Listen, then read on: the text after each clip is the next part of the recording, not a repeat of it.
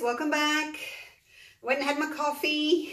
I scraped the canvas. I'm sorry to say, yes, I scraped the canvas. Uh, yeah, if I'm not really happy with it, there's no point me keeping a canvas. I'd rather scrape it and try it again. Now, it was my first experiment with the Mont Marte paint. Uh, so, yeah, to go again. If you missed that previous video, just watch it. It's just before this one. Um, and that was a little bit thicker the mix. This one, I've still used my, it's empty now, 65% glue, 35% water. But instead of going one to one, I have gone one and a half parts pouring medium to one part paint. Now, in saying that, they are a little bit different. You guys know that each color is a little bit different. Um, so the white added a little bit more paint. The turquoise was probably more one to one. The others were one and a half to one. So yeah, that's it. Just play around with it, you know, pick one brand of paint and experiment with it. That's probably the best way for you to get your consistency right. And write down everything you do each time so you know what works, what doesn't. Uh, spot on. Treadmill, silicone. I prefer that. It's quite thin, so it makes nice round cells. Um, some of the others are quite thick, like the um, dimethicone or the hair serum, the coconut milk hair serum. They're really quite thick. And um, I find that they make the cells really too wobbly and wonky looking. So this is my favourite to use. I buy it from somewhere in the States through eBay. It is quite expensive. It costs me about $60 or something for a bottle with shipping. But, you know, a bottle's going to last you a year. So spend a little bit more and get what works, hey? If this is your hobby and you love it, you may just have to spend the money, hey, and get what works. That's what I think anyway. You need to have good quality paints. You need to have good quality materials to get a, a good finish. Now, while you're practicing, you can start with your craft paints and things like that, but you're really not going to get a good result. And people say, why didn't I get nice cells? What happened? And, you know, you just got to upgrade to the better quality paints and then you'll probably get a better result. Now, um, what can I show you the consistency on this one? It's tiny little mound. You still need to have a mound. If it's kind of more like a, if I can show you, more like a just a straight down like that, like a pyramid, when it hits the surface, then it's too thin. It needs to leave just a little mound. Oops, touched the white on something. Okay. Little mound. See that? One, two, three. One, two, three. It's still sitting there for three seconds, so little mound. Not as big as last time.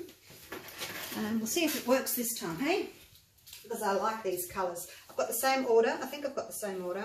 I didn't play back the video, but I think it's the same order. All right, wish me luck. Let's go again. Hopefully they are a bit thinner. Really not much difference. A little bit thinner, I guess, because I added water last time. Didn't add water this time. I just reduced the amount of paint. So hopefully they are going to be thin enough.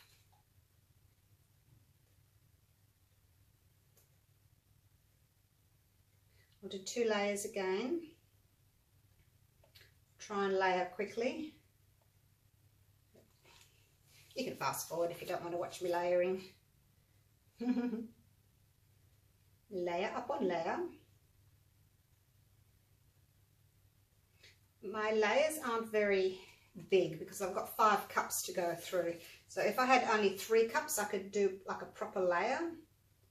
Whereas you don't, where you don't see any colours underneath, but I don't have that much paint. So you can still see the colour beneath. But I wanted to do the flip and drag, you know, the stripies. So just making the best of what I've got. But yeah, three cups, three bigger cups, I guess, would have also worked. But um, I wouldn't do the flip and drag then, I would just do the flip cups. But, but I wanted to go with the stripies just to see what this paint can do.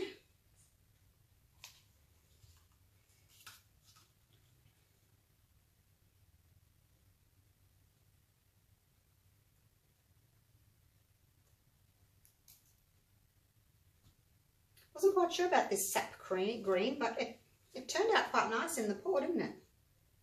So that was the first layer. Here we go on the second one. If you touch your cups together like this, you can actually run your, your cup straight over the top.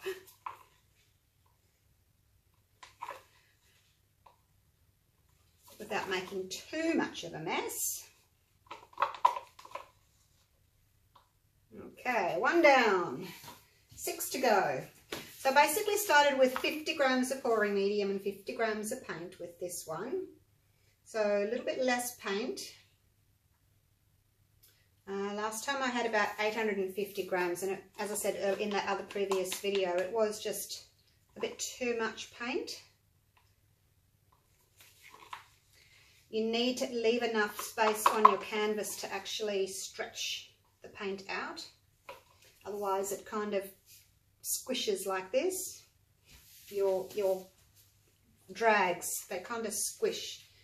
You want to be able to stretch them out enough so that they can open up. Otherwise you have these thin little sections in the middle and wide sections on the outside because they've stretched over the edges but your middle hasn't been able to stretch so that's always a problem if you've got too much paint so if that's what's happening to you that's because you've got too much paint and you can't stretch that middle paint out.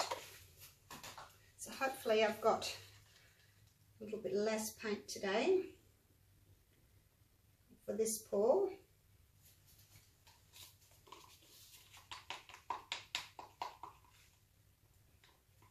I haven't shown you my colours. My gosh. I know I showed you in the last video, but I do like to show them in each video because maybe people haven't watched my previous video. I'll show you in a minute. Once I flip the cups over, I'll show you what colours I've got. They're all the Mont Marte Studio acrylics. Just trying them out.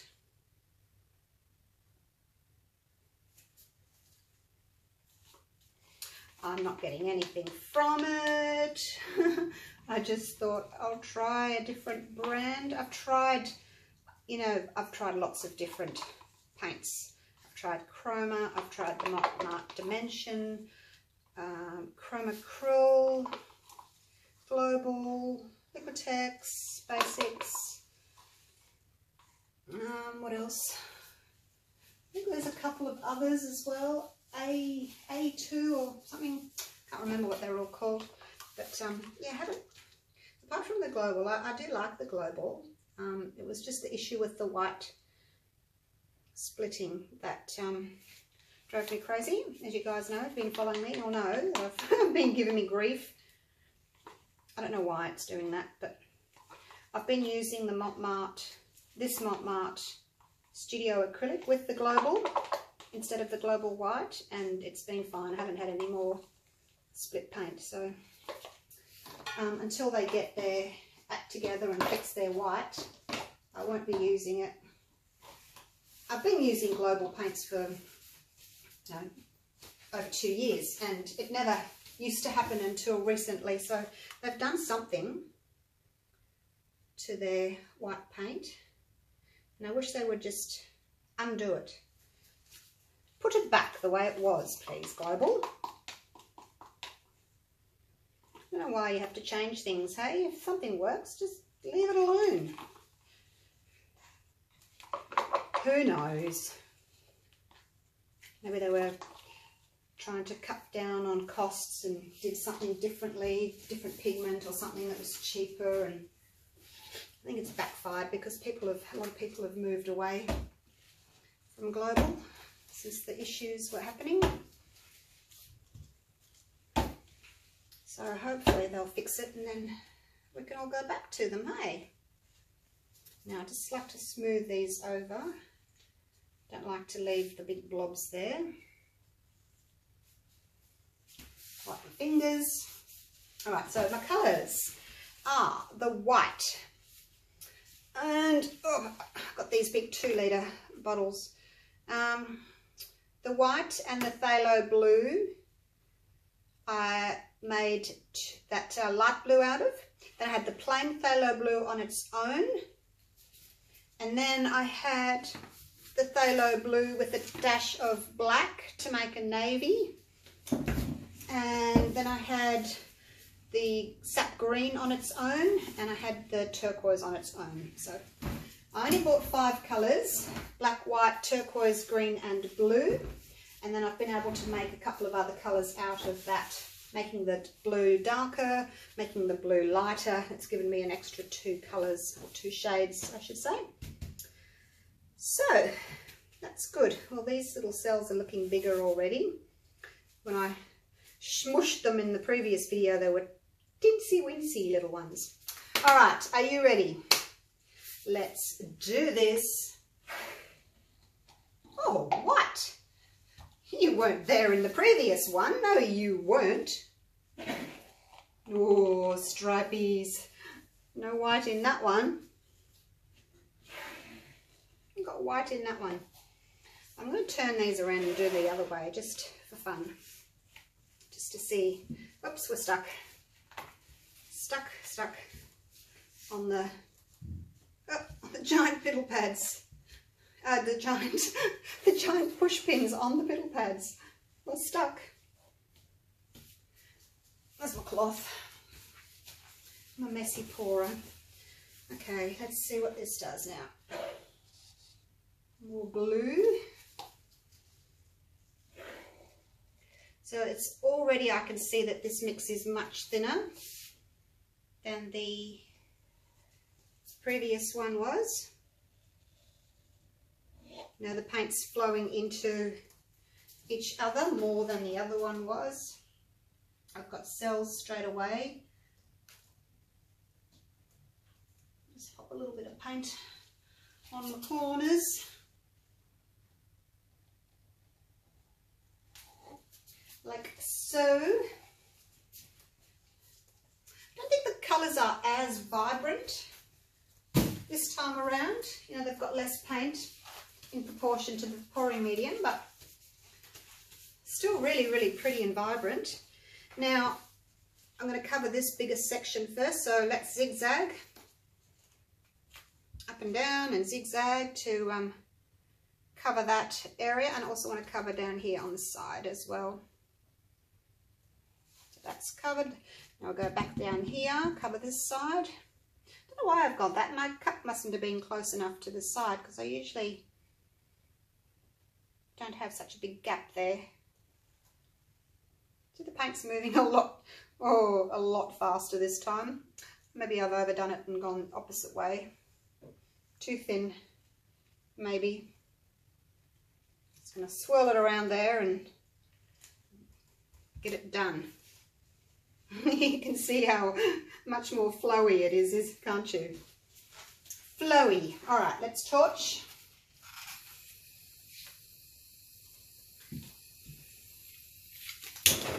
nice and high up. Now the mix is thinner this time, so I shouldn't get any caterpillars this time, like I did last time. Cross fingers. It's my, my theory only, if your mix is too thick you get caterpillars, so, or if you get too close with your torch. That's my theory, and I'm sticking to it. We'll see what happens. Whoa, got a bit close there on the side. got too close there. I'll have to tip that off. So because the mix is much thinner this time round, my cells are, the paint's more reactive, so cells are popping up a lot faster.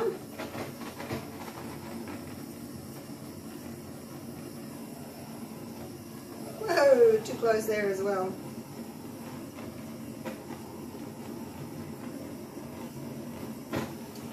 Um, let's, we might, oh, look at that way too close. I was just about to pull away with the torch and then I got too close. I'm going to have to tip that off now. You've got to be so careful. Concentrate. Don't lose your concentration because, you know, it can be too late. And then look at that massive cluster now that's come up. Comes up and then grows. All right, I'll leave it there for now because the weight of my paint's there in the middle. So I'm going to go that way first. Right. So just walk it back and forth. I do want to get a bit of this off because it's a bit too busy. And I need to go over here as well. So off to that side and back. I'm obviously not going to keep my stripes this time, so that's okay. It's just going to be a little bit more flowy. Some people like flowy, don't they? Can see how it's really flowing. Oh my gosh. It's as if I've gone the opposite way now with my, my cells. Or my, my mix being a little bit too thin. First it's too thick, then it's too thin. Let's just get that over. Okay, it's a bit, a bit stretched. Okay. wow, that was fast, hey? Okay, so cells are much better. A little bit stretched over down the bottom there, but there's not much I can do about that. And this big colony here, see how they're all stuck together? I don't think I did a very good job of tilting that time. Right, I'm just gonna I'm just gonna leave that because um, if I try and get the paint back this way, these are all going to stretch out. See how the ones on the edge there have started to stretch out? So I just I just need to leave that now. But it is really pretty. And no caterpillars. So there you go, there's my theory proved. Well, I think so anyway, in my little pea brain of a mind. No caterpillars. Uh, the colours have blended more, maybe a little bit more muddy-ish, you know, not as bright as the previous one because the colours were thicker. In the previous one, they didn't blend so much. Now, I think that I've gone the opposite way here and my mix was too thin. So, like Goldilocks, First one's too thick, second one's too thin. I need to do another one, which is going to be just right. Hopefully you can see the difference. I can't show the other one because, you know, it's it's scraped, it's gone, skis. But, um, yeah, I mean, the cells are pretty. I've got rings around them. I don't have, you know how last time I had those black bullets because the, um, the paint was too thick. So it was just like a little black bob, blob. I don't have them anymore the black cells that are up here have actually got rings around them. If you look really carefully, you can't see from up there, but I can see they've actually got rings around them. So it's worked better this time round. So I just need to just, what's the word? Change the formula just a touch. Um, and then I think it'll be fine you saw how my mix was just like, you know, it was like sloshing around when I was tilting. So a little bit too, too thin. I just went slightly the opposite way.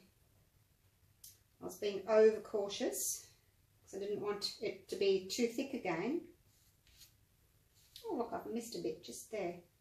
Um, what can I put there? I need some green. There we go. Pop that there. And I also need some that colour, just there. Wipe underneath, run my little tool all the way underneath, catch the drips. I do love these blues and greens. They are just divine, aren't they? So pretty.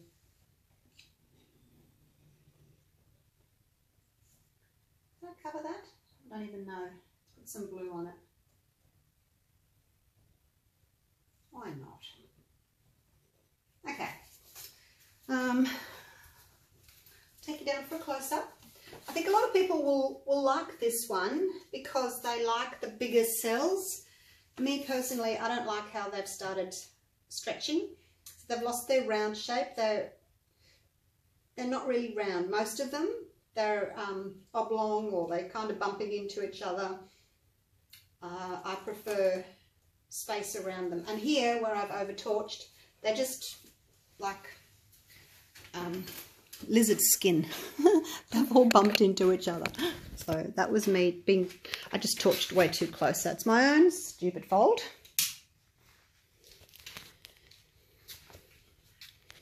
I'll stand here and see if I can go straight up.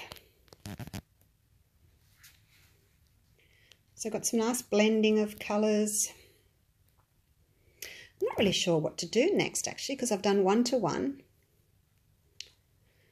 and then I did one and a half to one. Hmm.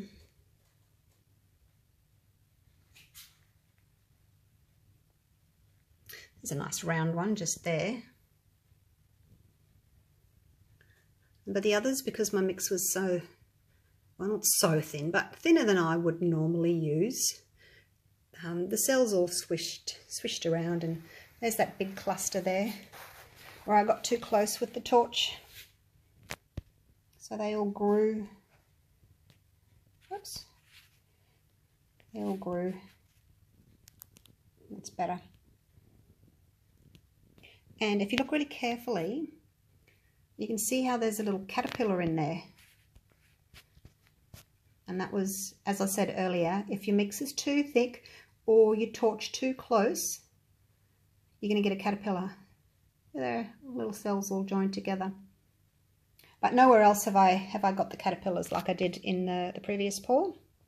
Because, you guessed it, I thinned my mix down. So that's why. You're going to focus, please? Thank you. So, um, I probably preferred the previous one better. Too late now, it's gone. Um, only because the vibrancy of the colours. Um, I think it was probably better. See the green? The green has kind of blended and it's lost its vibrancy. It's going more of like a yellowy kind of a colour with the turquoise. So that's one issue. But um, hey, still, still really pretty.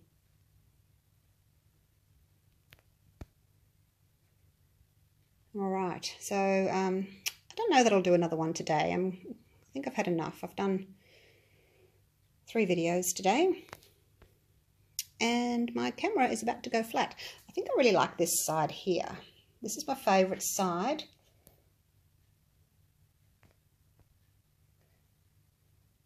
There, it's really pretty, hey? All right, I'll leave it at that.